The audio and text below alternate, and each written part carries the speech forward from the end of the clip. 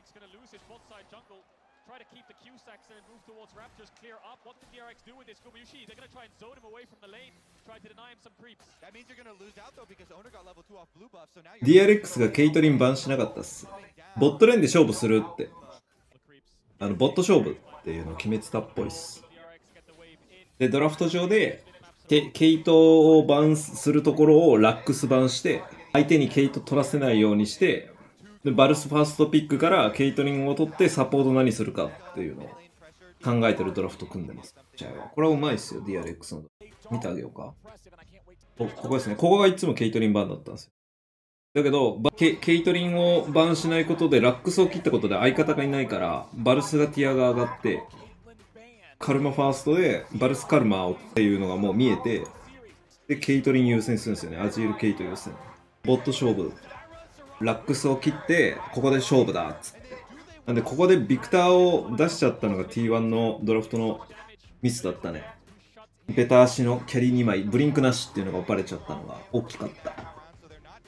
で、ベタ足キャリー2枚だから、バードどうっつって。連吉よって言ってるのがこの時だね。キャリー2枚倒しに行く構成にここで決めたっていう感じだ。このハイマーを多分ね、バン、バンさせて、っていうのを、これもう、この、これをよ読んでた。DRX は。ハイマーレナートバンされるっていう。で、ヘカリム出てきて、もうこの、この2枚狙う。ただ、ビエゴ・グエンが一応強いんで、ビエゴ・グエンがダメージ足りるんで、ここの2枚やられても。T1 もダメージ足りる構成にはしてますよ。グエンはプレイヤースキルマッチアップですね。エイトロックス VS グエンは。うまい方が勝つ。あエイトロックスじゃなかったらなって感じ。あの、マルモティウスを積まれるときついんですよね。マルモティウス積まれるとビクターとグエンのダメージがなくなっちゃうんで。うん、やっぱカルマ相手にバードきつい。主導権取れない。で、ミッドガンクが決まったから、ミッドボットで主導権が T1 にある。T1 もだからちゃんとドラゴン取って、ミッドガンクして、アジールの弱点ついて。ただ、D1 問題はトップレーンにありました。最強プレイヤーキンゲンが、ワールズ MVP プレイヤーキンゲンが、トップレーンにはいたんです。なんと、ヤバすんぎー。T1 からしたら絶望。プレイヤースキルマッチアップなのに1キルソロキルしかも大量のミニオンロスト。これが中盤マジで効いた。T1 が勝てるタイミングだったのが全部エイトロに潰されたんですよこれの影響で。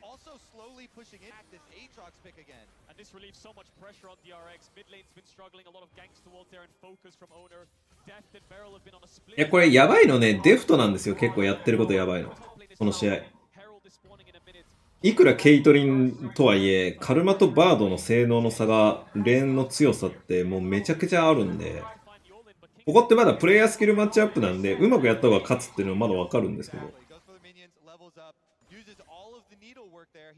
ケイト使ってんのにレーン勝てないからめっちゃ難しいはずなんですよ。バードが動ける時間が少ないから、ゼゼカのそのミッドからボットにかけての視界のコントロールっていうのも取りづらいんですよ。だからラインを変えてるんですよ。コントロールワードのライン。T1 も分かってるんで深めに置いてますし、金言がソロキルしたから、任せろっつって。俺のパワーでリフトヘラルド取れるっつって。おかしいな。T1 は本当はローテーションして、このヘラルドを取るはずなんだけど。He would have made the call. They leave Guma pushing those plates on bottom. But they can't finish the Herald. They know T1's ready to 任せろ。俺が俺が強い。俺が金言だ。っつって俺が俺がキンゲンだ。っつって言ってるいやこれだってバードをそもそも選択というか進めたのがデフトじゃないですか。ってことはそのレンケイトリンにとってレーン勝たなくても集団戦で勝てるっていうビジョンが元からあるってことだから、よっぽどケイトリンに自信があるんだと思う。実際プレイインでも3回ぐらい使ってたはずこのワールズで。いやでもこれ金元勝ってなきゃ DRX やばかったですけどね賞味。プロキルしてなかったらこれ結構危なかったよ。ミッドからボットにかけての戦いは絶対勝てない DRX あ救世主参上。お絶対勝てないって言ったな。俺がトップレーンで勝って下山したら勝てるぞ。っつって。救世主が降りてきました。つって。絶対勝てないはずだった場所なのに。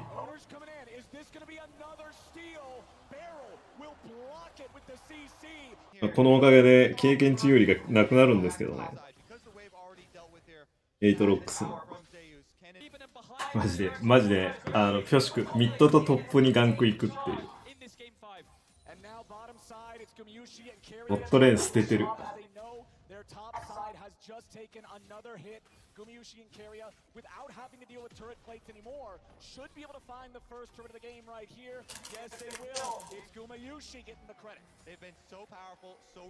デフトがいい選手だなと思ったのはこれはねやっぱウィークサイド担当できるのやばいな。沼吉だったらウィークサイド担当したら崩れちゃう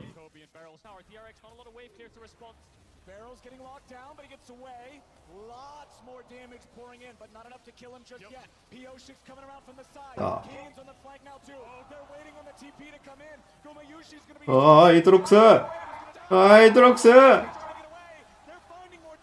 でもデフト生存。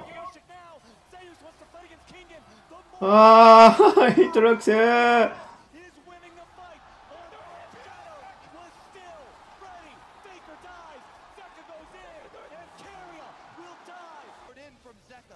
T1 がでもちょっと雑だ、雑だったけどな。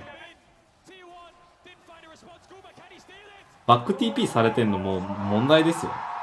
ミッドタワー殴るのに。ああ。また俺たちはバロンに苦しむのかーっつって嫌な空気が。もうバック TP されてるんですよね、ここ。あの、ビエゴのところに残ってるんですよ、ワードが。ラプターの右上っすね。あそこにワードが残ってるのはマジで問題。あのミッドタワー殴るときに集まって5人でうわーっつって指示するときってあ右か左かのワードって消すんですよ。どっちかサイドのワードって消すんですけどこっちにも残ってるじゃないですか。これ残っててでトップのここにも今ワード残ってましたね。ってことは両サイド見えてるんでこれのどっちか片方サイド消さ消しとけばそっちに逃げるだけでいいんですけど両方残ってるとダブル TP で挟まれて落ちるんですよだから結構 T1 が雑なんですよねまあ、ワールズ MVP 金言だったらめっちゃ納得なんだよな、マジで。デフトとかゼカとかになんか取ってほしかった気持ちもあるけど、あ、と見えないところで言うんだったらベリルが MVP でしょ。ゼカにひたすら金を集める LPL みたい。DRX が偉いのはここでちゃんとタワーの折り返しができてることだね。これで金、金差がそんなに追いついてない、あの、開いてない。これ難しいんですよ、めちゃくちゃ。このプレイヤーの。圧はありますね。ビクターか、バルスに入ったら、ヘカリムの R 食らったらもう死ぬんで、構成的にはめっちゃキャリーへのプレッシャーが高いんで、でも2コアあればいいんですよ。ぶっちゃけ。あの、キャリー以外、DRX の構成は。8ロックスも、ヘカリムも、カードも。に 2, コアで十分足りるんですよ。で、T1 は、2コアで足りる、まあ、ビーゴが一応足りるんですけど、それ以外はもうちょっと欲しいですね。特にグエンですね。だからリソースの奪い合いになっちゃってるんですよね、ここ。いや、バード無限の可能性ありますよ。いや、実際これババードで決めてますからね。これライブ中気づけなかったんですけど、ドラゴンファイトの時に、あの、バードのアルティメットがバルスに刺さって決まるシーンがあるはずなんですよ、確か。で、狙い通り、ベタ足、キャリーに対してバードのアルティメット当てたんで、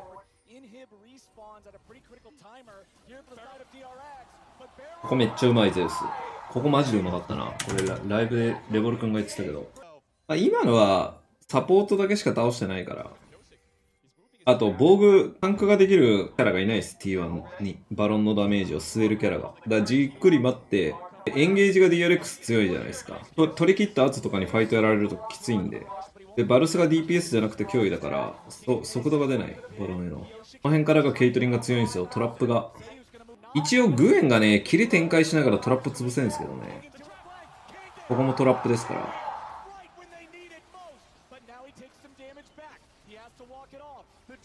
で、バードのあるかな、ここは。そう、これ。バルサが入って、バル,ス狙いに行くっていう。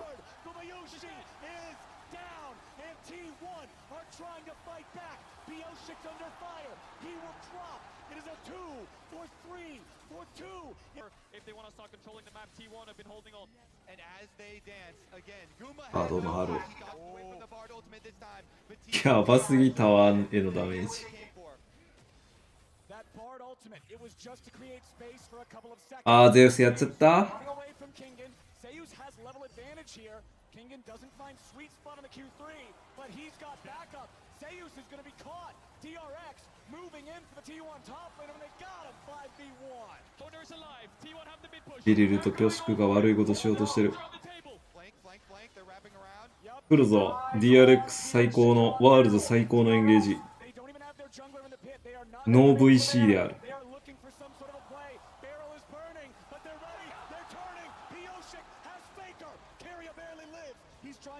よしく無言で突っ込んだらゼカが無言で合わせてくれたっていう。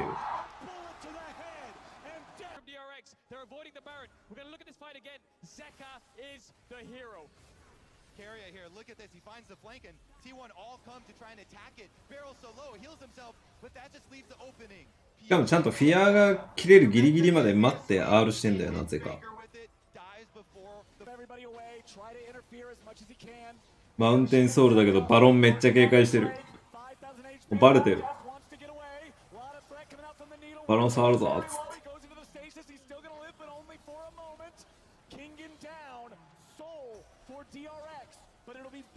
いつもの T1 です。ドラゴンソウルとバロントレードは。ただ時間がかかったんで、取れるか？あ、取れましたね。あ、ワールドお疲れ様でした。ありがとうございます、ティア。T1 ファンとして、は悔しいけど、デフトおめでとう。いや、そうよな。T1 ファンからしたら悔しいよな。フェイカーの4度目のトロフィー掲げてる姿、どんな姿なのかを見てみたい。っていう気持ちは確かにある。あのー、決勝で負けたファイナルからフェイカー一度も泣いてないんですよね。表で。泣きそうになったりとかはありますけど、号泣はないんで、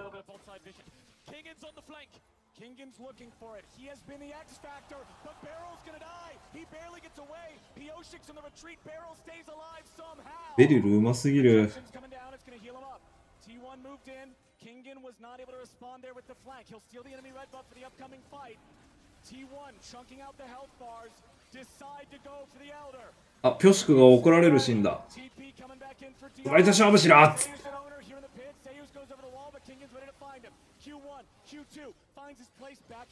はい俺裏回ろっか俺裏回ろっかなあなあスマイチシャー負スマイチシャー負分かった分かったわかりやすい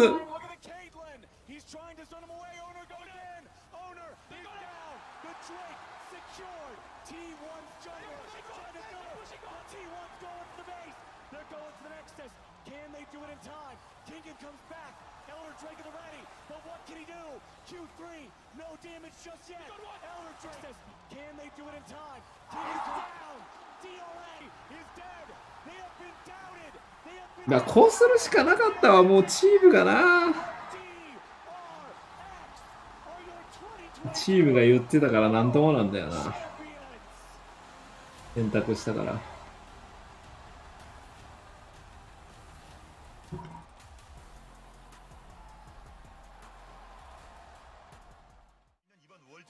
来た真の主人公はここにいた。あったあったあった。伝説の始まりだ。伝説の始まり。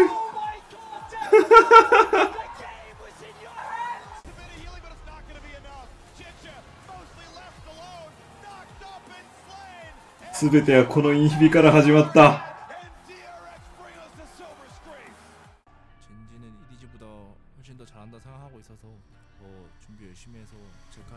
会ったことがないんです。2022年ジェンジーに一度も DRX は一度も勝ったことがない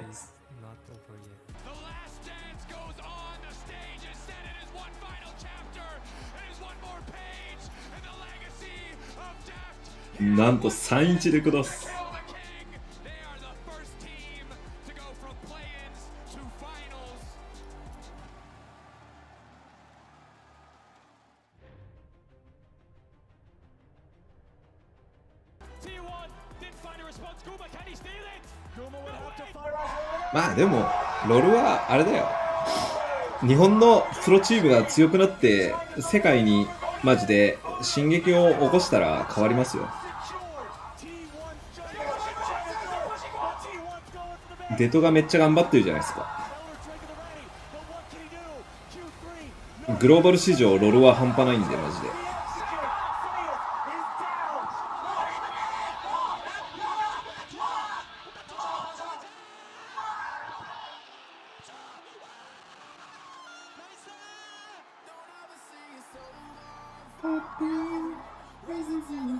They